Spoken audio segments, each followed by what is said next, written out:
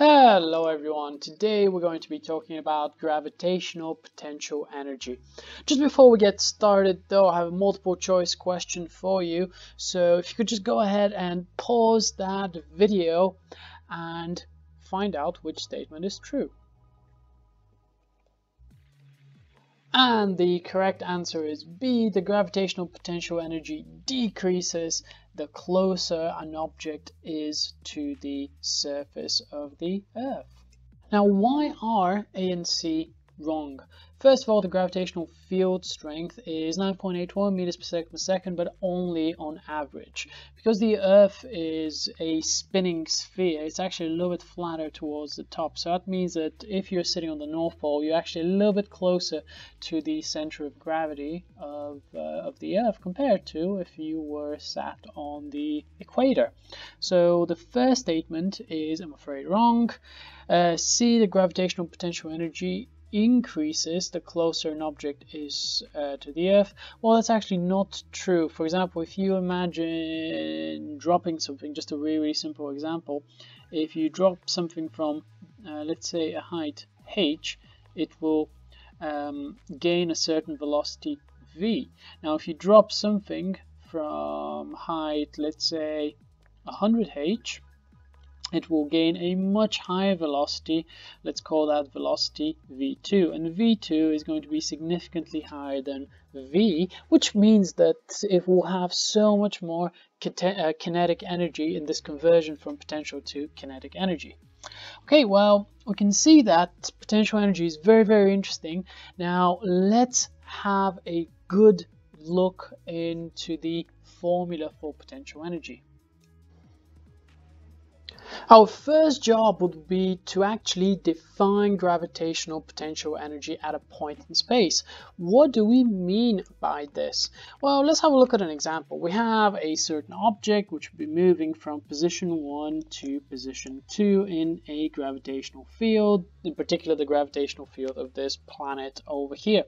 When we're moving from position 1 to position 2, there need to be two things that are happening.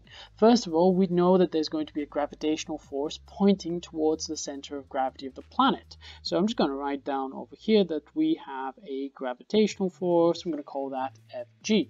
Additionally, we're going to move a distance r as you're moving from position 1 to position 2. So we have force and we have distance traveled. Oh yes, you're right, we are talking about work done. And remember, the work done will actually be equal to the change in energy and in particular the change in gravitational potential energy. So gravitational potential energy is actually defined as the following. So let me just zoom out a little bit more. It's the work done in bringing a mass from infinity to a point in the gravitational field. The significance in infinity of infinity for gravitational potential energy will explain in my next video. However, let's think about this as the um, as the case in which we take point one to be quite extreme, so it's sufficiently far away uh, that we can assume it to be infinity. For example, we can put it sort of over here or even way, way, way out further.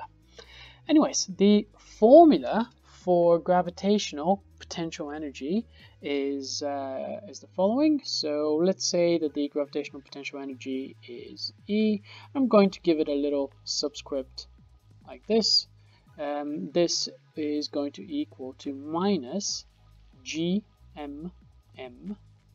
over R. Now I can definitely imagine that you guys are probably asking yourselves what has happened to the good old E is equal to mgh equation.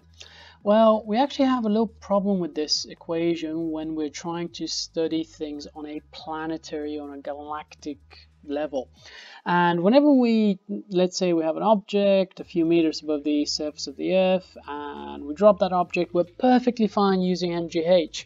However, this equation here assumes that the g remains constant no matter what height it is above the gravitational field. But remember, g is actually minus gm of r squared. So g does vary with the distance to the gravitational uh, center of, of, of the planet. So we can actually only apply this equation very close to the surface of the Earth. In fact, if we were dealing with two objects on a more planetary scale, then we'll need to apply the new equation that we've just learned that the gravitational potential energy is equal to minus gmm over r.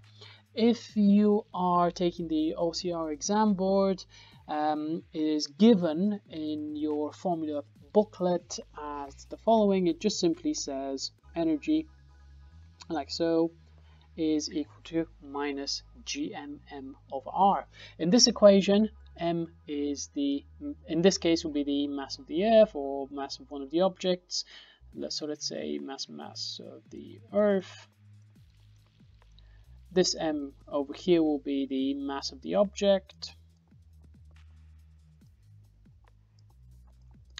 G is just the the good old gravitational constant, which is uh, uh, 6.67 times 10 to the power of minus 11, and R is your distance to the center of the Earth. So just write that distance to the center of the Earth, which is really, really important.